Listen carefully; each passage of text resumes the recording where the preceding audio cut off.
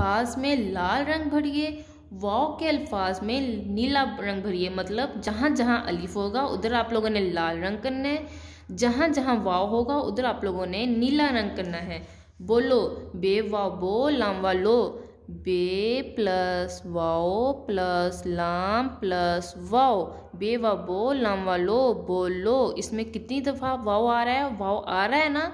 तो इसमें आपने कौन सा रंग करना है? नीला। जोड़ो, जीम वाओ, जोड़ वाओ, रो। इसमें भी वाओ आ रहा है। कौन सा रंग करना है? नीला। सोचो। वाओ।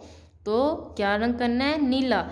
अब अलिफ, जिन जिन लफ्ज़ों में अलिफ आ रहा है, जैसे कि जीम अलिफ जा, जीम प्लस अलिफ प्लस लाम प्लस अलिफ, जीम अलिफ जा, लाम अलिफ ला जाला जीम अलिफ जा लाम अलिफ ला जाला। जाला में आप लोगों ने कौन सा रंग करना है? लाल, क्योंकि इसमें अलिफ आ रहा है। जहाँ जहाँ अलिफ आ रहा है, वहाँ आप लोगों ने लाल रंग करना है।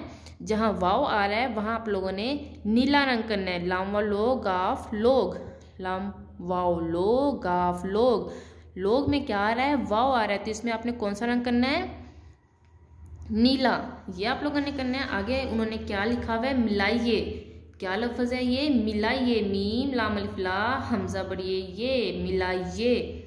नाचा। कौन नाचा था जब हमने पीछे वाली एक नज़म पढ़ी थी, उसमें मोर नाचा था कि चोर नाचा था? मोर नाचा था तो वो मिला दिया इन्होंने। मानो के कान पर क्या लगी थी? पीछे जो हमने एक नज़म पढ़ी थी, उसमें मानो के कान पे हेलिफाल हम हाल, चेवा चोट टे चोट। मानो के कान पर हाल है कि चोट है? चोट थी ना? तो हमने चोट में दायरा लगाया और यहाँ वो लफ्ज़ लिख दिया। एक कहाँ है? ये प्लेट के ऊपर क्या पड़ी हुई है? मछली पड़ी है कि दूध? दाल व दूध, दाल है दूध। के मीम छः लाम छोटी ली। मछली एक कहाँ है? मछली। ऐसे। आगे आप लोगों ने सबक नंबर पाँच, टोपी कोटी। टोपी टेवा टो पे छोटी पी, टोपी कावा को प्लस टे प्लस छोटी ए, कोटी, टोपी, कोटी।